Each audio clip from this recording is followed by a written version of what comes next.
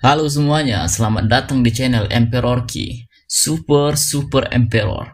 Baiklah, kita langsung mulai saja alur ceritanya. Pada chapter sebelumnya, orang-orang sangat terkejut melihat teknik rank human tertinggi di lelang. Orang-orang mulai menawar dari 105.000 110.000 hingga 120.000 sampai tetua ketiga dari geng Golden Energy menawar 150.000 pil spirit. Linian kemudian mengangkat tangannya, menawar 155.000 pil spirit. Seketika Liu Xuan sadar jika orang yang menawar adalah Linian. Tetua ketiga dari geng Golden Energy menambah tawaran menjadi 160.000 pil spirit. Tidak mau kalah, Linian menaikkan harganya menjadi 165.000 pil spirit. Persaingan tawaran menjadi sengit. Mereka berdua sama-sama menaikkan tawaran mulai 170.000, 175.000, 180.000, 185.000, 190.000, hingga Linian menawar dengan harga 195.000 pil spirit. Orang yang datang bersama tetua ketiga dari geng Golden Energy meminta agar tetua ketiganya untuk tenang. Menurutnya, harga itu sudah melewati nilai dari teknik itu sendiri. Tujuan terakhir yang diinginkan mereka adalah item terakhir. Namun tetua ketiga merasa kalau Linian mencoba apa pun yang dia bisa untuk mendapatkan teknik itu. Dia berencana ingin mencoba menaikkan harganya sedikit lagi. Tetua ketiga merasa kalau Lilian pasti akan mengikuti kemauannya. Dan ketika hal itu terjadi, dia akan membuat Linian menyesal. Kemudian tetua ketiga dari geng Golden Energy menawarkan seharga 210.000 pil spirit. Tiba-tiba Gong Qiansu meminta agar Linian berhenti menawar. Gong Qiansu merasa bahwa orang-orang dari geng Golden Cloud Energy mencoba membuat Linian jatuh pada tipuan mereka dan meminta Linian membayar untuk sesuatu yang tidak sepadan dengan harganya. Dia mengingatkan Linian agar jangan sampai terjebak. Suer juga meminta agar kakaknya itu berhenti menambah tawarannya. Linian pun mengikuti saran dari Gong Qiansu dan adiknya itu. Linian menatap tetua ketiga dari geng Golden Energy dengan datar. Tetua ketiga tersebut menanyakan apakah Linian tidak ingin menawar lagi. Linian menjawab dengan ramah bahwa dia selalu mendengar betapa kaya dan baik hati tetua ketiga dari Golden Cloud Energy. Apa yang terjadi hari itu membenarkan rumor tersebut. Linian dapat mengatakan bahwa tetua ketiga sangat menginginkan teknik itu. Jadi Linian akan berhenti menawar. Linian pun meminta maaf akan hal itu pada tetua ketiga. Tetua ketiga berpikir kalau Linian orang yang kurang ajar karena berani mempermainkannya. Liu Xuan berpikir jika Lin Yan selalu memberikannya kejutan. Akhirnya, teknik itu menjadi milik tetua ketiga dari Golden Cloud Energy. Liu Xuan percaya semua orang telah mendengar tentang apa yang diiklankan oleh kamar dagang Golden Cloud selama dua hari terakhir. Barang selanjutnya yang akan dilelang adalah 9 pil pendekar expert. Linian berpikir akhirnya giliran barang miliknya yang dilelang. Sembilan pil pendekar esper itu berasal dari pembuat eliksir yang sama dengan yang terakhir kali sehingga kualitasnya terjamin. Semua orang dapat menawar tanpa khawatir. Lisuan mengatakan akan membaginya menjadi tiga tandan. Masing-masing tandan dengan tiga pil di dalamnya. Tawaran awal tidak boleh lebih rendah dari 155.000 pil spirit. Setiap tawaran sesudahnya tidak boleh kurang dari 5.000 pil spirit. Siapa pun yang menginginkan pil pendekar esper dapat mulai menawar sekarang. Lisuan meminta agar orang-orang tidak melewatkan kesempatan itu. Orang-orang mulai menawar dengan harga 165.000 pil spirit, 210.000, 255.000, 270.000. Linian menganggap tidak heran jika pembuat eliksir semuanya kaya raya.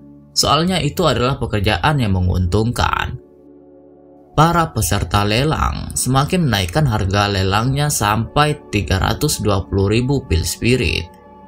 Lisuan memberitahukan bahwa dari apa yang dia dengar, orang yang membuat pil pendekar esper itu mungkin tidak akan memproduksinya lagi. Jadi itu mungkin pil pendekar expert terakhir yang akan dilelang. Itu akan menjadi kesempatan terakhir untuk mendapatkan pil expert berkualitas tinggi. Linian hanya tertawa kecil mendengar penjelasan Liu Xuan. Dia tidak mengira kalau kebohongan itu keluar dari mulut Liu Xuan dengan begitu mudah. Linian berpikir, setelah menjual tiga barang, dia seharusnya memiliki sekitar satu juta pil spirit. Jika Linia menggunakan pil spirit itu untuk mengubah dragon bloodnya, maka dia harus dapat mengubah semua pembuluh darah. Setelah pil pendekar expert terjual, Lisuan mengeluarkan item terakhir mereka dari pelelangan hari itu. Benda yang dipegang Lisuan adalah struktur mantra sihir tingkat kedua. Tawaran awal untuk barang tersebut adalah 200.000 pil spirit. Setiap tawaran tidak boleh kurang dari 10.000 pil spirit. Linian melihat kalau struktur mantra sihir tingkat kedua itu yang dia butuhkan. Linian langsung menanyakan kepada Gong Qiansu, berapa biaya struktur mantra sihir tingkat kedua yang normal. Gong Qiansu menjelaskan bahwa struktur mantra sihir tingkat kedua yang kuat akan menelan biaya lebih dari 1 juta pil spirit. Sedangkan yang normal tidak lebih rendah dari 400.000 pil spirit. Linian masih bisa menerima jika jaraknya berada di antara 400.000 pil spirit dan 1 juta pil spirit. Orang-orang mulai menawar dari 210.000 pil spirit, 220.000, 240.000. Tuan muda Cheng Xuan juga ikut menawar seharga 300.000 pil spirit. Orang-orang menjadi terkejut melihat tuan muda dari sekte Burning Flame ikut menawar. Dikarenakan dia tidak menawar apa pun sebelumnya. Mereka mengira sepertinya item terakhir itu yang diincar sekte Burning Flame. Tetua ketiga dari geng Golden Energy menaikkan tawaran menjadi 320.000 pil spirit. Tuan muda Cheng Xuan dan tetua ketiga sama-sama bersaing demi mendapatkan item terakhir tersebut. Mereka berdua menawar mulai dari 350.000, 380.000, 420 ribu, 460 ribu, 480 ribu, 500 ribu, hingga terakhir Tuan Muda Cheng Xuan menaikkan harganya sampai 550 ribu pil spirit. Ketua ketiga dari geng Golden Energy merasa sangat kesal. Dia berpikir ini semuanya salah Linian, karena sebelumnya membuat dia membuang banyak pil spirit. Jika tetua ketiga terus menawar, maka dia akan melebihi anggarannya. Tiba-tiba Linian bersin seperti ada orang yang menyebutnya. Suer menanyakan kepada Linian apakah kakaknya itu baik-baik saja. Tetua ketiga dari geng Golden Energy mengatakan bahwa dia akan berhenti menawar dan memberikan item terakhir itu kepada Tuan Muda Cheng karena Tuan Muda Cheng sangat berbakat dan berani. Tuan Muda Cheng pun berterima kasih kepada tetua ketiga Jin atas kepercayaannya.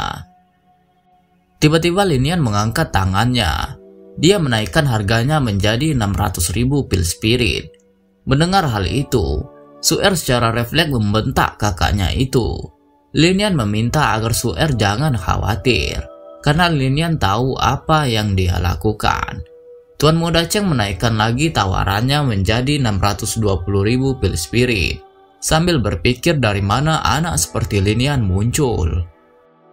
Linian lagi-lagi menaikkan tawarannya menjadi 700 ribu pil spirit. Lisuan melihat kalau Linian terlalu berani untuk bersaing dengan sekte Burning Flame. Mendengar Linian menaikkan harganya, Tuan Muda Cheng berdiri karena sangat kesal. Orang-orangnya meminta agar Tuan Muda Cheng untuk tenang. Mereka meminta agar Tuan Muda Cheng agar jangan melakukan apa pun karena itu adalah wilayah aliansi bisnis Yunjin dan mereka tidak boleh terlibat di dalamnya. Li Xuan menegur mereka dengan batu kecil yang dibuatnya. Akhirnya Tuan Muda Cheng Xuan memilih untuk takkan melakukan kekacauan. Tuan Muda Cheng akan melihat jika bocah seperti Linian benar-benar bisa mendapatkan item terakhir dengan harga setinggi itu. Tuan Muda Cheng tidak tahu entah dari mana anak menyedihkan seperti Linian berasal. Dia tidak sabar untuk melihat apa yang akan terjadi pada Linian saat Linian tidak bisa membayar jumlah pil spirit yang disebutkannya. Kemudian Liu Xuan menanyakan, apakah ada lagi yang ingin menawar lebih tinggi dari 700 ribu pil spirit. Suer benar-benar menjadi sangat cemas dengan tindakan dari kakaknya itu. Tapi Linian lagi-lagi meminta agar adiknya jangan khawatir karena dia mengerti atas apa yang dia lakukan. Lalu pelayan membunyikan lonceng pertanda item terakhir lelang sudah terjual. Mendengar lonceng berbunyi, Suer menganggap kalau dalam waktu dekat mereka akan tamat. Kemudian Linian mengajak Suer untuk pergi mengambil item mereka di konter. Suer seperti tidak percaya jika mereka benar-benar akan pergi. Sesampainya di konter, Li Xuan meminta maaf kepada Linian karena telah menunggu. Linian mengenalkan Suer kepada Liu Xuan. Suer tidak menyangka kalau yang di depannya itu adalah nona cantik yang menjadi pemandu lelang. Dengan hormat, Suer menyapa Liu Xuan. Liu Xuan menganggap kalau Suer begitu menggemaskan. Lalu Liu Xuan menjelaskan bahwa jumlah yang Linian dapatkan dari pil martial expert 1.200 pil spirit. Mendengar hal itu, Suer menjadi terkejut. Dia menjadi bertanya-tanya kapan kakaknya mempunyai pil martial expert untuk dilelang. Liu Xuan menilai kalau Suer tidak tahu tentang pil martial expert yang dimiliki Linian. Linian tidak mempermasalahkan hal itu, karena dia akan menjelaskannya nanti kepada Suer. Liu Xuan memberikan struktur mantra sihir level kedua Linian dan sisa pil spirit setelah dikurangi harga struktur itu. Linian pun berterima kasih kepada saudari Liu Xuan atas kebaikan dan kesempatan yang diberikan. Liu Xuan meminta Linian agar berhenti menjadi orang yang sangat sopan terhadapnya karena menurut Li Xuan, justru Linian lah orang yang mendukung bisnisnya. Li Xuan meminta Linian harus berhati-hati, karena dia melihat Linian mempunyai konflik dengan tetua ketiga geng Golden Energy dan tuan muda dari sekte Burning Flame. Linian mengira kalau Li Xuan berpikir mereka akan menaragetkannya. Li Xuan tidak berpikir kalau mereka akan menyentuh Linian di dalam kota Green Sun. Tetapi begitu Linian terekspos di alam liar yang sepi, maka di situlah mereka akan menargetkannya. Linian berpikir, begitu dia sendirian maka Gong Qiansu bisa keluar membantunya.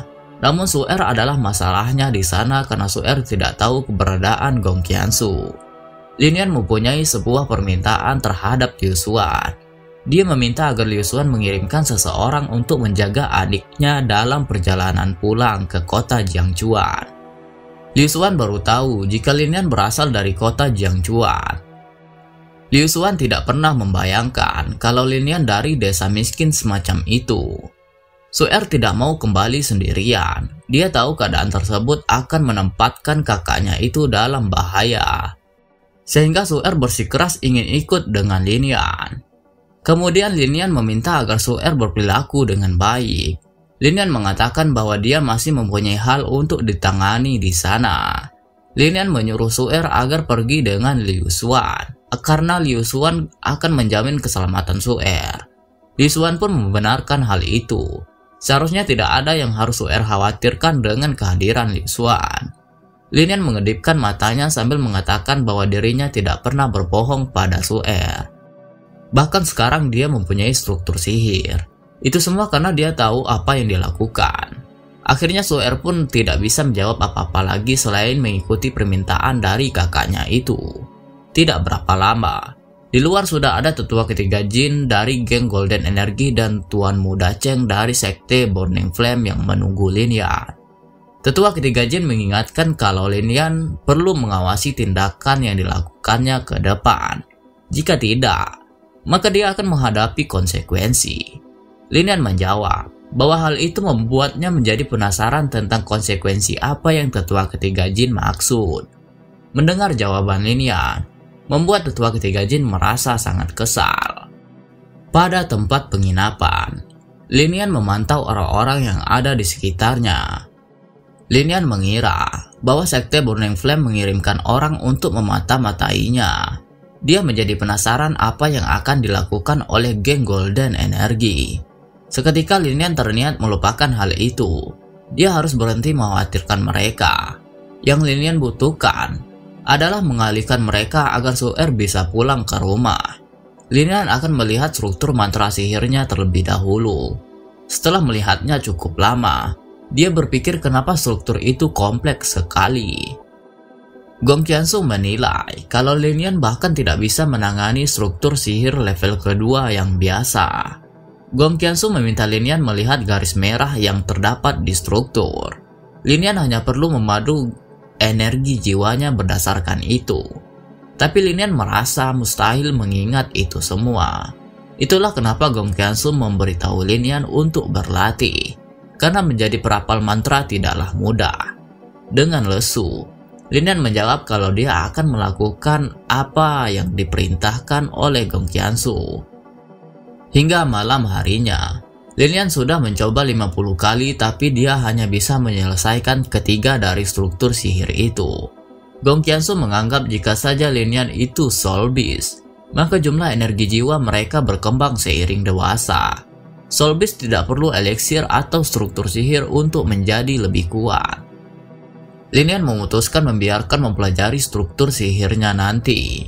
Dia menilai sudah saatnya untuk pergi. Setelah berada di luar kawasan kota Greensun, Linian tahu kalau ada orang yang mengintainya. Linian menganggap mereka seharusnya tidak memainkan trik yang begitu licik.